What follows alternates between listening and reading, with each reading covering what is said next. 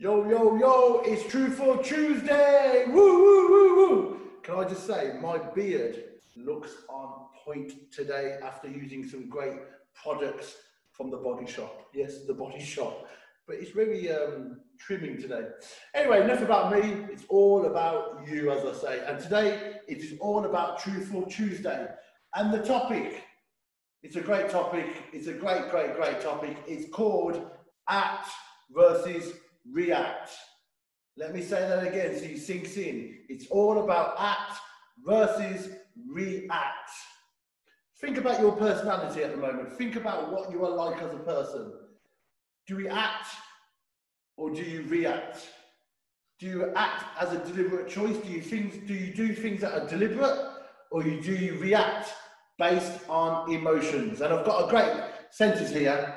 Is your behavior affecting your fat loss? Is your behavior affecting your fat loss? Is the way you act helping you, or is the way you react hindering you? But Nathan, what do you mean? I hear you say that through the Zoom video. I hear you say that. So, what do I mean? Most of the time, when we're on a program of trying to better ourselves, we are acting deliberate. We are doing things to make ourselves better. When we are uh, becoming overweight, when we are doing things negative, we are reacting. So, for instance, and I'll give you a great example emotional eating. I was an emotional eater, and when I was happy, sad, joyful, um, angry, I eat food, and I still do it now. And I have to be so mindful of how I feel to how I react to how I feel. So if something, if something stresses me out, I always used to, well, I used to react by eating food, which then made me get fatter and fatter. And when I was 27 stone, let's just say I did a lot of reacting, a lot of reacting to food. And so my reaction made me eat food. I became emotional, I reacted by eating food. When I lost weight and when I did my first bodybuilding show, and now I make sure I am in control by making deliberate choices to act and make myself a healthier person. So let me give you some examples. How do you deliberately act, deliberately act to keep in control of your fat loss? You plan and train ahead. So a lot of my clients who are in my 1% method, we schedule and plan ahead. We create habits. We make sure in your food focus fusion plans are in control. You are in control of your food. You're in control of your eating. How do you react in a negative way? When you have no schedule, when you don't know what you're eating, when you have no plan, you'll reach for whatever is in the cupboard. When you're out and about, you'll reach for whatever you, wherever you are. Let's say you're on the go all the time in your car.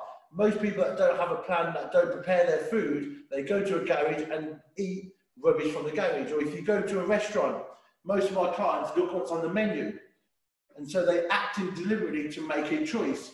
When you react, you're there, it suddenly happens, you're based on how you feel, and you order something that you wish you don't really need. So we are always making sure, in regards to fat loss, we are making a de deliberate choice to train and plan ahead. We also make decisions based on facts. When you're acting ahead in your fat loss, you make a decision based on facts. What you do not do is when you react, you make a decision based on emotions. So, for instance, again, coming back to emotional eating, when I emotionally ate, I ate because of my emotions, because of how I felt. When you act and make a deliberate choice, you actually say to yourself, Am I hungry?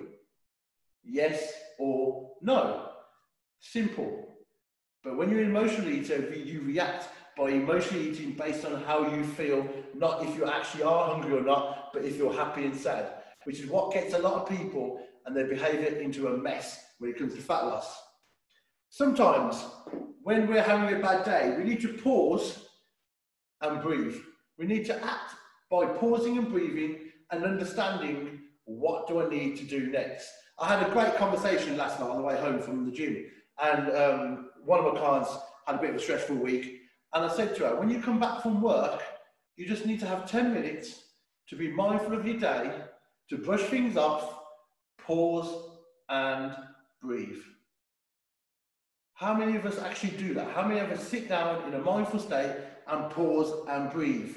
Most of the time, we get back, something happens, there's an erratic response, and we react again based on our emotions. We do an erratic response. I remember, and this is quite funny, I remember, so my mom used to say to me when I was younger, you wait till your dad gets home. And when my dad got home, he'd been at work all day, doing whatever he did, and he'd come back quite tightly wound up or quite het up. And so when my mom said, they've done this, they've done that, my dad would then react from how, he, uh, how he'd been through that day, which most of the time was he'd been wound up. So he'd do reactions to us by shouting at us, by being negative to us, because of the way the day had been. And that's the same with ourselves. If we've had a bad day, when we come back home and we have a letter and it's a, a speeding ticket, because if we've had a bad day, we respond erratic. Whereas if we just come home, have a pause and a breathe, think about our day that we've had, and then act. We are in control. So, guys, when it comes to fat loss, when you wake up in the morning, when you come home at night, are you acting about what you're going to do? Are you have a breathe, have a breathe, pause and breathe and think about what am I going to do? What am I going to eat? Do not do some erratic response. How many of us consider the consequences? Just in general, how many of us consider the consequences in how we act? Because if we did, half the stuff we wouldn't do. If we actually thought about the consequences and considered what happens if I do A and B, do I get C or do I get Z? How many of us actually think about it? Most of the time, because we react on our emotions, we just deal with the consequences after. We do, a, uh, we do a reaction and then we deal with it after. We do a reaction, we deal with the consequences after. And then that leads us into a negative state. What about if we just did an act and thought about the consequences and reacted on that instead? So we act, consider the consequences, think about it. Do I need to do it? No, I don't. Coming back to food, let's think of it from a fat loss point of view. You're craving biscuits, you're craving sugary stuff. You actually reach for the 10 cal jelly that's going to crave, that's going to get rid of those cravings. You thought about it, I'm going to go for the 10k jelly. Consider if you hadn't gone for the 10k jelly, you've gone for the biscuits, how you would have felt after. That's considering the consequences. And I always say to my um, my clients, pause, breathe, think about how you're going to feel after you've ate the shit. Are you going to feel better or worse? Or are you going to feel good if you go for the healthier option? And most of the time, they go for the healthy option. How, if you react to things about how you feel, you'll do it, you'll think about the consequences after and feel quite down and depressed and unhappy with how you've dealt with certain situations. And then acting, in a deliberate choice, you develop hindsight. We should always be learning from situations and scenarios. And when we learn from that, we should be adapting it for when we move forward in life. So if you know certain situations have caught you off guard regarding fat loss, develop hindsight, understand it, what went wrong, move on so it doesn't happen again. Most of the time, when we're reacting to things, we don't learn from it and we do it repeatedly over and over and over again. Guys, when it comes to fat loss, if you base everything on reactions, your fat loss journey will be a hill up and down, up and down, up and down, because you're basing your reactions on emotional feelings. You need to start basing your fat loss journey on actions that are a deliberate choice. And guys, here on your actionated side, I've put things, I say actionated because I think it's a great word, even though it's not a word, I'm going to say it. You need to think of things how to act on your fat loss. You need to have a plan. You need to make decisions based on facts. You need to have a, a, a system where you pause and breathe and think about the consequences after. Okay? Think about what's going to happen if I do X and Y. Am I going to get Z or am I going to get a mashed up situation where I'm in a that I'm in a dire strait that I'm really unhappy with? And then you have to develop hindsight.